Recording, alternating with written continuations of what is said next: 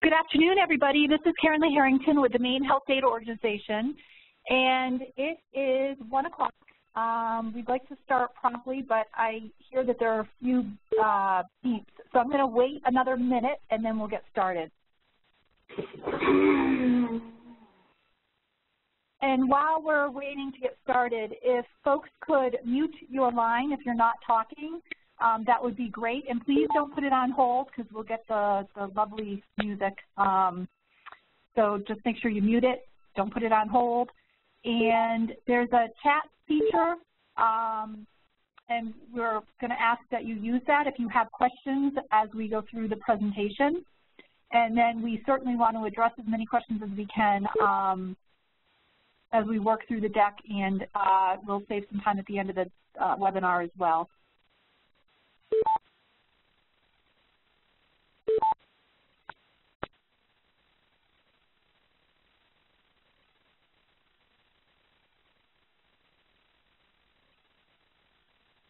Okay, I think we'll go ahead and get started. So again, welcome uh, to all of you and thank you so much for taking time out of your very busy schedules to spend time with us this afternoon learning about uh, some updates to uh, Chapter 241 uh, as well as some updates within um, the portal that you all work within when you're submitting data to the Maine Health Data Organization.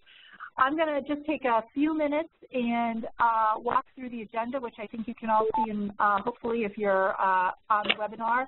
We're going to run through just a few use case examples because I think it's important that you understand that you don't just submit the data to us and it sits in a, uh, you know, uh, sits in, in a black box, I guess is what I would say, and is never used. This data is used by a lot of different people for a lot of different reasons, and I just want to share a couple of examples with you. Then we're going to take a few moments and talk about some clarification and changes, some changes to Chapter 241 specifically.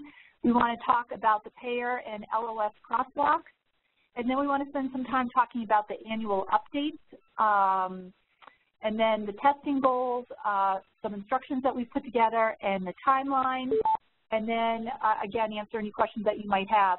And please feel free, as we're going through this deck, to submit your questions via the chat uh, function, um, and we will answer those uh, as we as we work through the deck.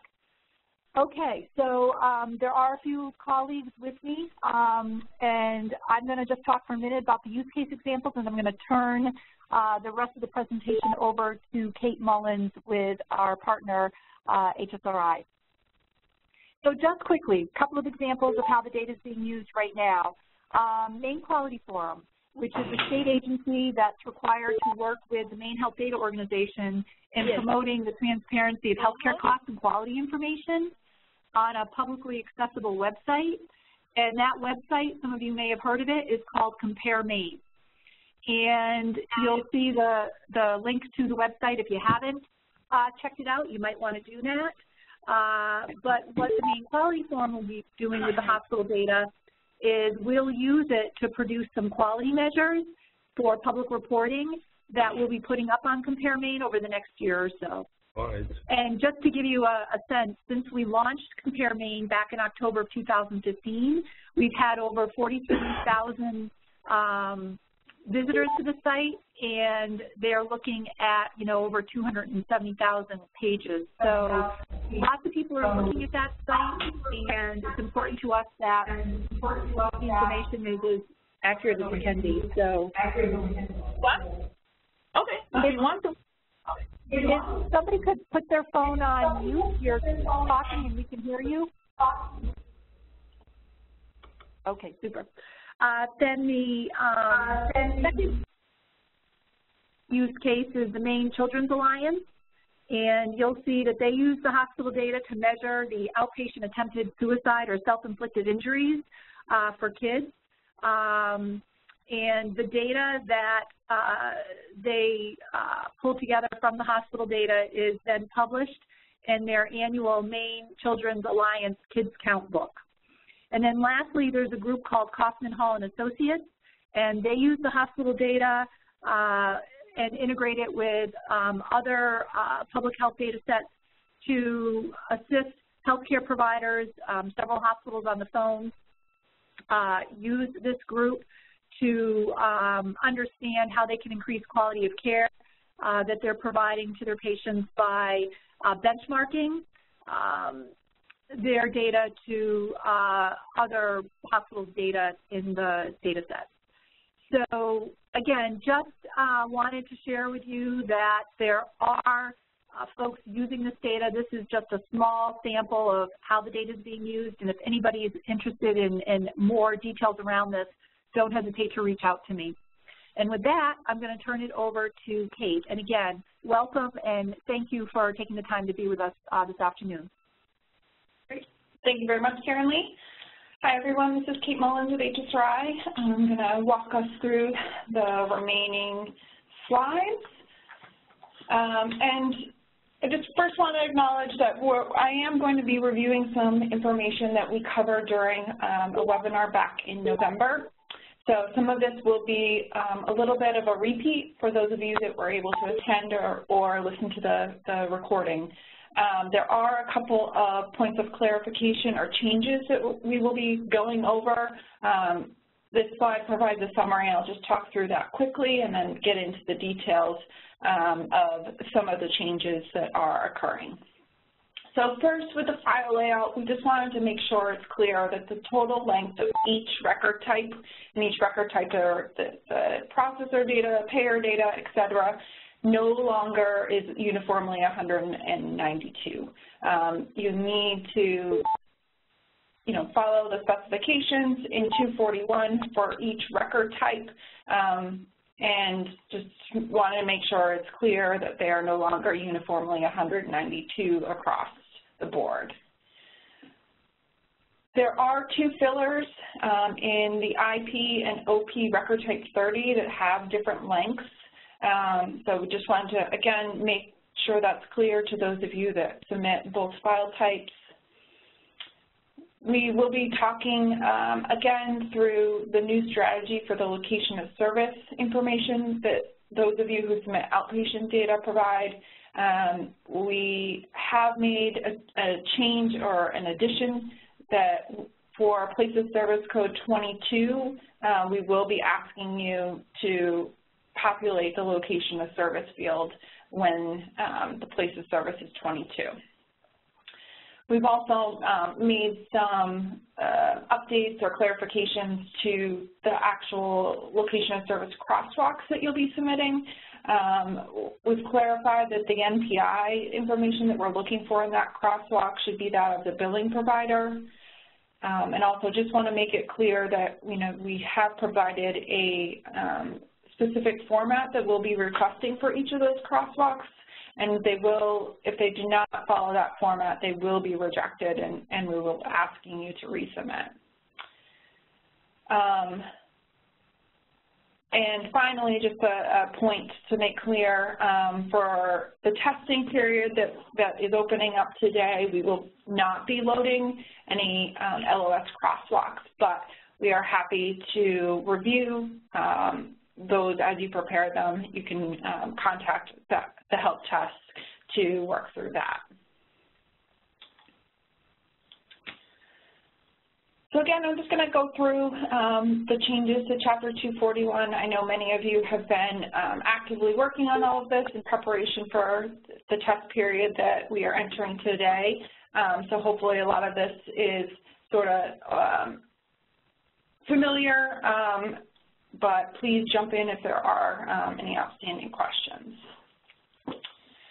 So um, as a summary, the, the changes to Chapter 241, um, there mostly, there's a lot of clarification of language, just making sure that we're talking about things consistently um, and clearly, updating terminology. Um, we've deleted some, some old information, um, updated the code list reference information, and there have been some um, addition of fields and then removal of fields. So as you all know, um, these changes go into effect with the submission of your Q1 2018 data, which is due by June 30th, 2018. So the production portal will be available for the submission of those data files no sooner than April 4th, 2018. and we will be reviewing the full timeline later in the deck. So um, just to recap here, um, these are the, the new inpatient data fields um, in the new format. Um, we'll discuss some of these in a little bit more detail, but again, we're just trying to get some more information from, about the patient. Um, we're changing the way the payer name is coming in um, so that it, the full payer name can be submitted in your data files instead of needing a crosswalk. Um, and there's also the, the new statement covered period from um, code as well. So regarding that, um, the beginning date for the period covered on the record is what we're looking for in this field. Um, and it must be a valid date that is no later than the through date. In the inpatient file, we have deleted um, or removed a couple of fields as well. Um, as I said, the, we're we've sort of cleaned up the way we're collecting the payer information, so the payer identification number is no longer necessary, and the old payer name field is removed as it has been replaced with a longer field. We've also taken out a few of the filler fields. And again, some similar updates on the outpatient side, um, additional collecting some additional information about the patient, um, replacing the payer name field, and we have a new field which is collecting the place of service information, and we'll talk about that a little bit more here on the next slide. Um, the place of service is a CMS code to indicate the specific entity where the services were rendered. Um, so this is mutually exclusive of what would be an OP4004, which is the type of bill. And we've included the, the link to the full code set um, here as well.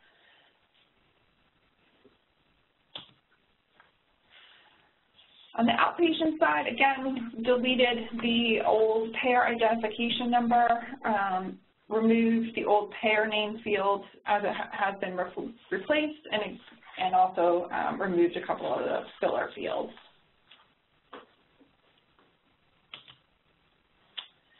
So as a result of these changes, we um, are making some changes to the crosswalk approach.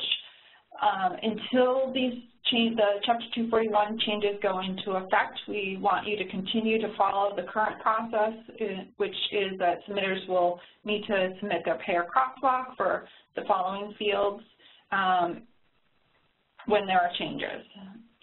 So um, information that we have obtained through these payer crosswalks has really allowed the MHDO to better understand and report data to um, to their users. So we, I know um, at times this process has been frustrating, but we really appreciate all the work that you put into um, getting us accurate crosswalks and um, we just have a little bit longer to go um, before the, the new layout goes into effect and we're able to eliminate this crosswalk.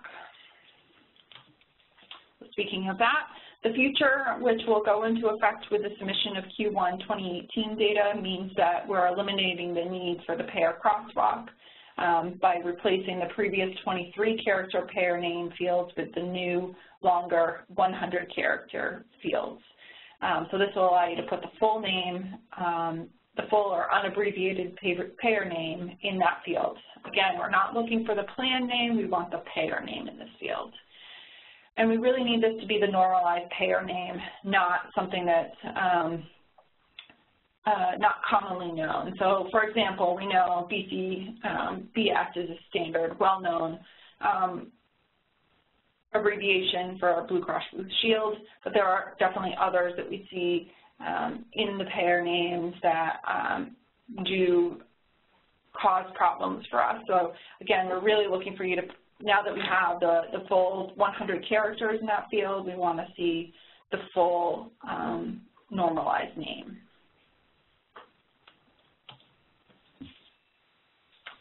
And on the outpatient um, side, um, as you know, for those of you that submit outpatient data, right now what we, do, we ask you to do is to send um, a crosswalk for OP4005. and um, this, we're requiring you to, to fill this in, field in um, on every record. And again, until this new Chapter 241 changes go into effect, we want you to continue to update these as necessary. Are you doing that just once a year? So the goal with the new um, LOS crosswalk approach is really to allow data users to identify which services or encounters occurred at a physician practice um, in a standardized way. Um, we've been able to make um, use of all of the, the, location of service information that you have provided. MHDO has um, been able to identify approximately 850 physician practices using all the data that's been provided. Um, and now we're just trying to sort of uh, refine the, uh, how we're identifying these and, and doing it a little bit more of a standard way now that we have a place of service field as well. So we do not need you to identify labs, um, hospital departments, or imaging centers. We are really just trying to focus on um, physician practices that may be in a, a variety of settings. So um, again, the, the, uh, the, goal is to minimize the information required in the, the crosswalks um, because of the additional place of service fields.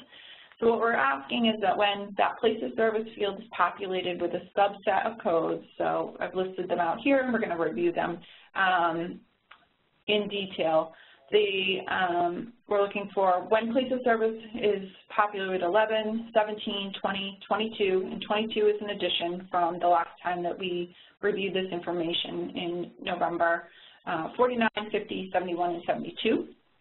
So we're saying that the OP 4005 field must be completed with the full name of the physician practice along with the information, and then we want you to provide the crosswalk. So here's some more detailed information about the place of service codes that we're um, requiring the LOS information for. So um, office, walk-in retail clinic, urgent care facilities, um, on-campus outpatient hospital, so the 22, that's the one that we've added since the last time we talked. Um, independent clinics, federally qualified health centers, public health clinics, and rural health clinics. Again, we're really just trying to get some, uh, be able to identify the physician practices in a number of um, different settings.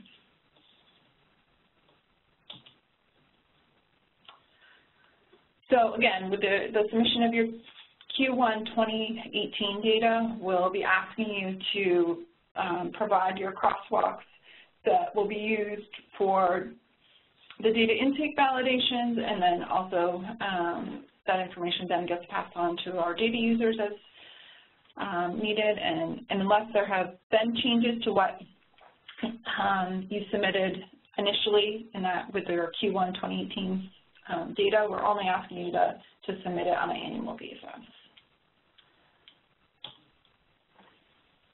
So here's a template for um, what we want the crosswalk to look like. And again, um, unless there is um, we we really need, in order to, to standardize um, the, the loading of these, we really need these to come in in a, a standard format. So we will be expecting um, all crosswalks to come in this format, and if they do not meet that um, these requirements, we will be asking you to uh, make revisions and resubmit.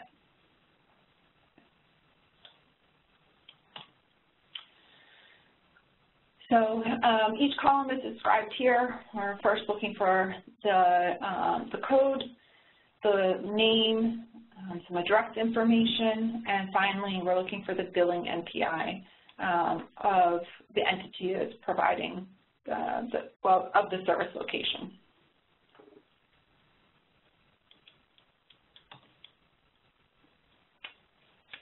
Well, that's a good crosswalk you've already done, or was that insurances that I'm sorry, could you repeat that?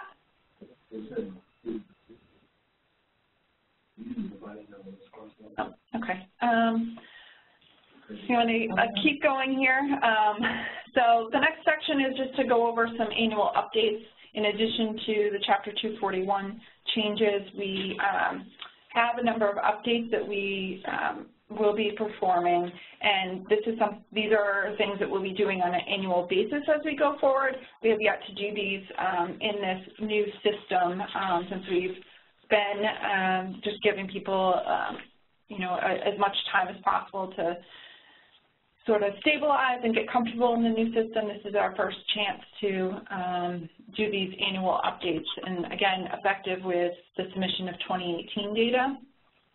Um, we'll be making changes to both the inpatient and outpatient validation rules. We'll also be performing what we call our annual override reset. And this means we're going to be um, sort of resetting, uh, if you have existing exemption or profile overrides, we're going to be resetting those. Um, and then finally, we're going to be asking you all to perform what we call our annual registration updates in the portal. Um, you'll be going in um, to review some information in the portal, verifying it, and making updates as needed. So here's just a summary of some of the validation changes that we will be making. Um, on the inpatient side, we've um, made additions and removal to accommodate the Chapter 241 changes. We've also um, made some changes to the ICD-9 field validations. Um, we, what, what we're doing now is that we're working under the assumption that most people are will not be submitting ICD-9 data any longer, um, and will be performing a check um, of those fields. If you, if there is a valid reason to be submitting ICD-9 data, um, you will have the ability to override that issue and explain um, the reason for that submission. The check is really in place to prevent any kind of um, data entry or data pull, um, you know, mistake where maybe somebody's putting an ICD-9 code in the ICD, uh, ICD-10 code in the ICD-9 field by accident. On the outpatient side, again, making some additions and removals of rules to accommodate the changes in Chapter 241. And then we'll also be modifying the logic we um, use on the, the location of service field to accommodate the new approach to um, this field in conjunction with the place of service field.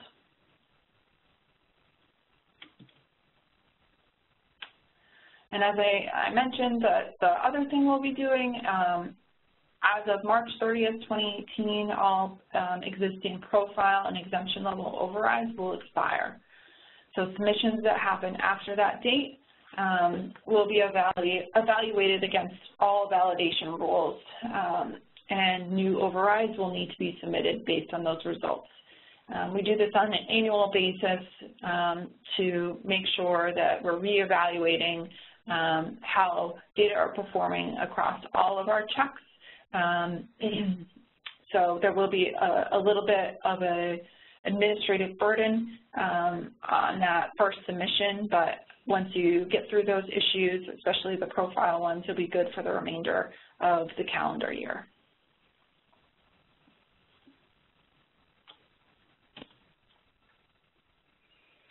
Um, and then finally, what we'll be asking you to do is just to review some um, information in the portal about your um, hospital, your contacts, and your users.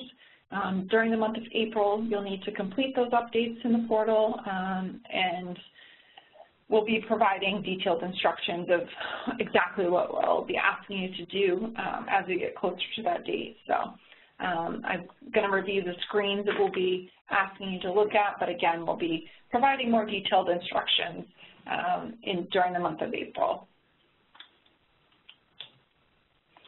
So um, this is just an example of up here in the um, portal, you'll go to the summary screen, take a look at the information we have about your um, hospital, see if anything needs to be adjusted.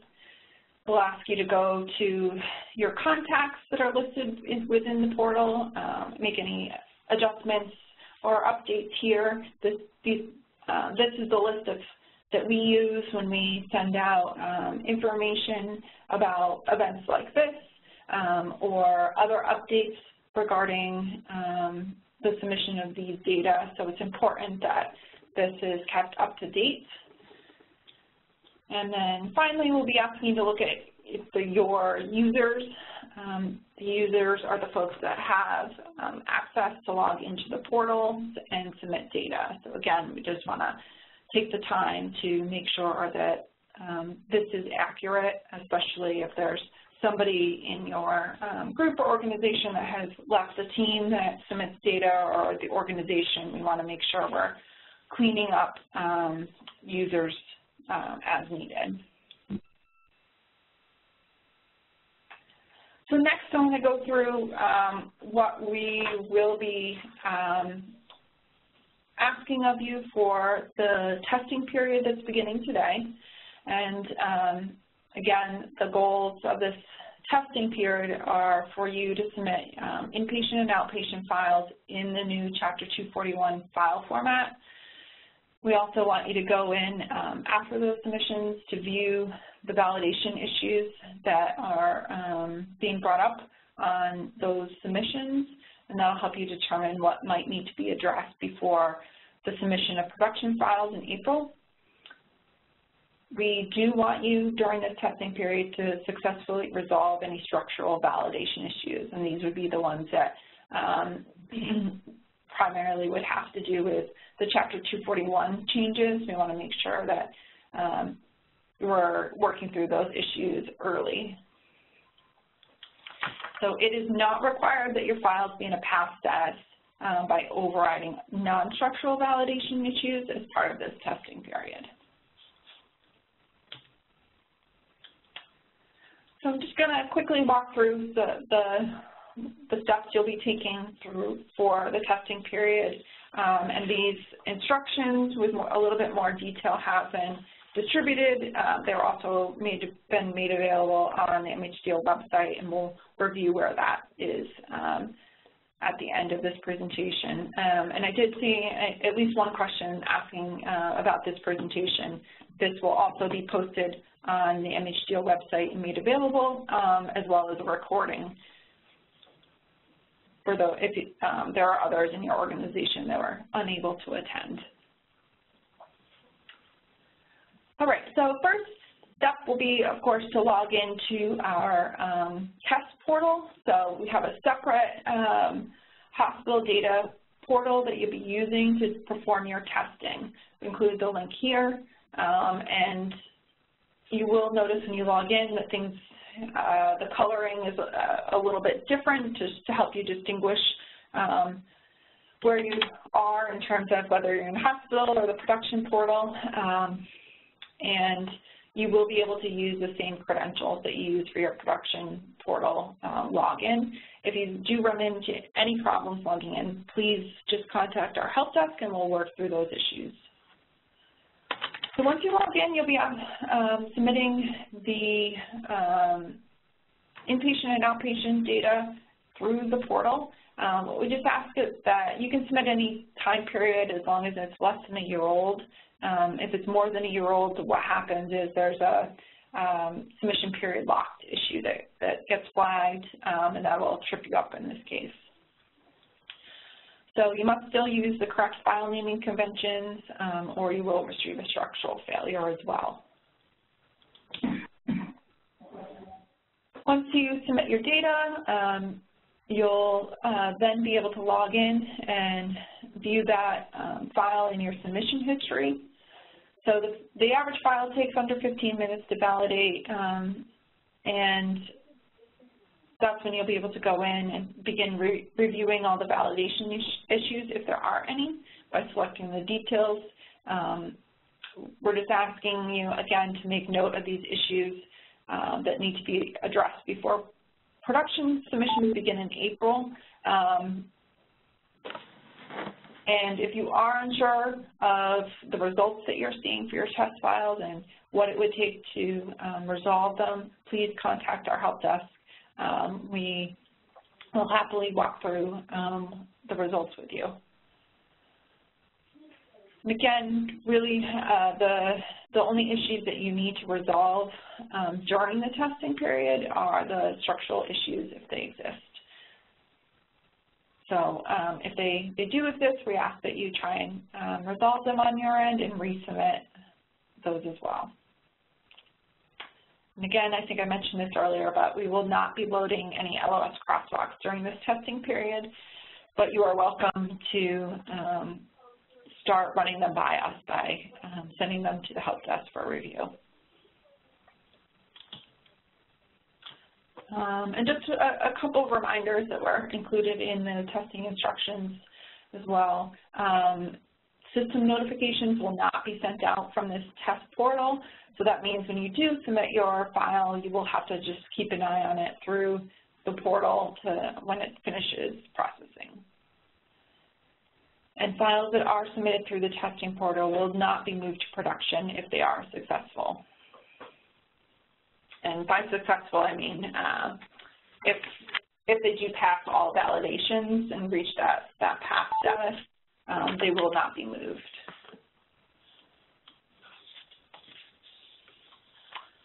All right, so here is the timeline um, for the next few months. Um, the first item is that um, I know um, all of you are working on your Q4 2017 data files, and those are due in the current old Chapter 241 format by the end of March. We had our webinar today to review this information and the testing period that um, we'll be holding in this with the new um, test site will is open to you now and will run through March 9th. We do ask that everybody participate um, and get and submit each file type that they submit in production.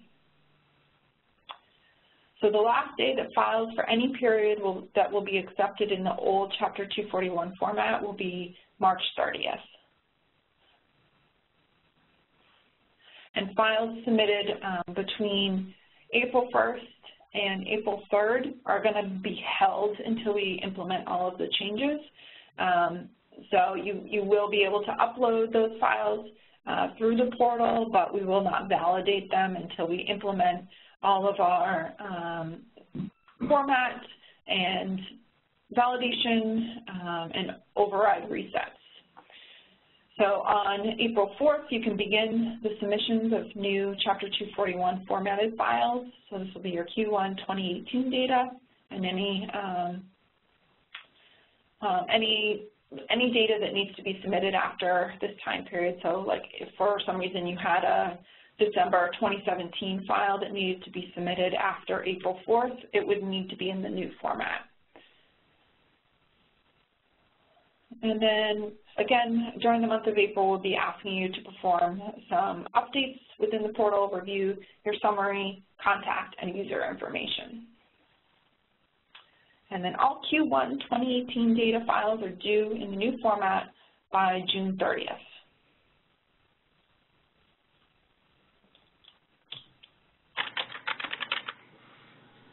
All right, so um, I'm going to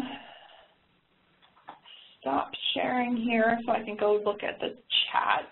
Um, I did see a number of questions come in, so I'll pull that up now.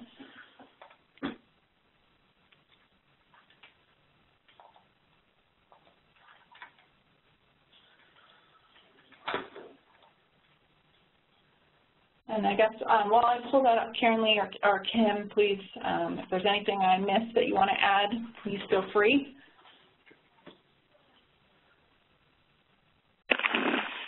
Hi, this is Kim, Kim Bonsant, the uh, Compliance Officer for MHDO. Uh, I just want to thank everybody for um, attending today and um, look forward to working with you. We're hoping that this testing period will be um, successful and uh, we're here to answer any questions you might have. Um, the help desk is there for you, and uh, I believe most of you know my email and my or my phone number, so feel free to contact me as well. Uh, Dave Vincent is always uh, available for technical assistance too. Um, so again, thank you for attending today.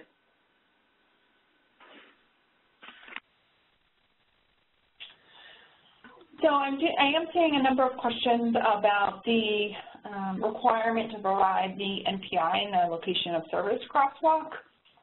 Um, I think um, what we should do um, on our side is MHDO and, and will have a, a, little bit of a conversation and provide some clarification and guidance around that um, since there seem to be a number of questions on that.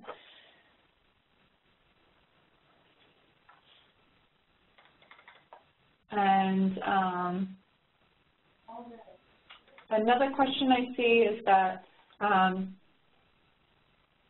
whether files during this testing period should be from your own testing environments.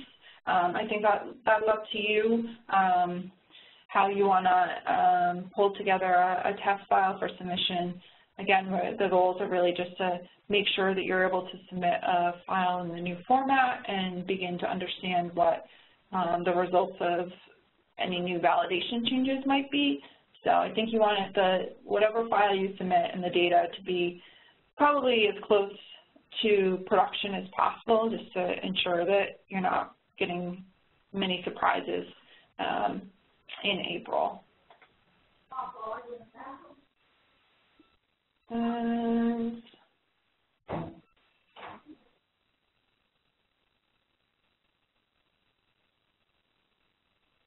And then I see some questions just about the timing of the testing period and your own um, internal work to, to get these changes implemented, work with outside vendors.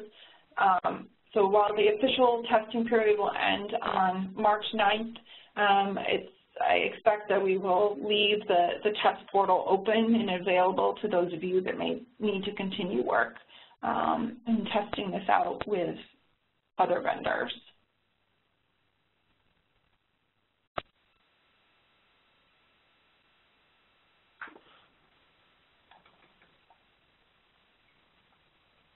Kate, are there any other questions in the chat room? Um, I don't think so. I think we're coming to an end here.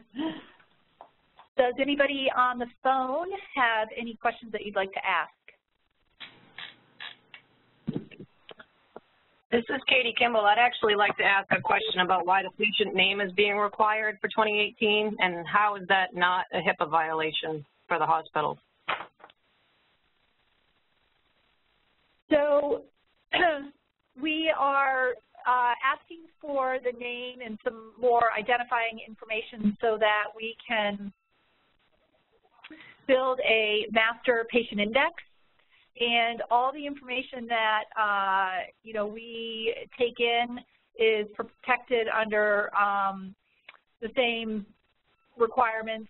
Although we don't have to comply with HIPAA, uh, we do comply with HIPAA, so um, we are authorized by law to take this information in and protect it, and we do we do not release individually identified data um, unless it's gone through a process with our board and it's met all the criteria required in our uh, laws and rules uh, to release, and those are under highly um, defined circumstances.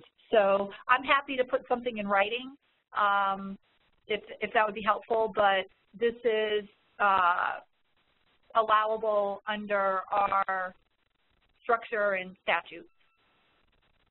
I, I would actually love to have something in writing so I can have our HIPAA compliance officer look into it for me. No problem. I'm fairly Thanks. certain that we're going to look for um, one of our own HIPAA contracts with you. Is that something you're willing to do? Uh, enter into like a business associate agreement? Yes.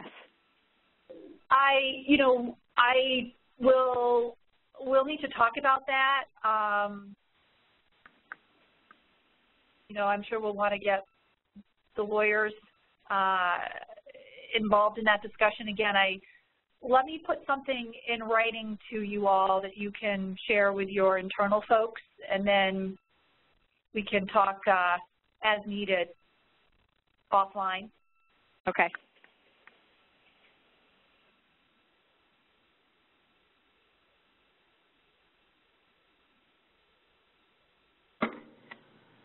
Are there any other questions?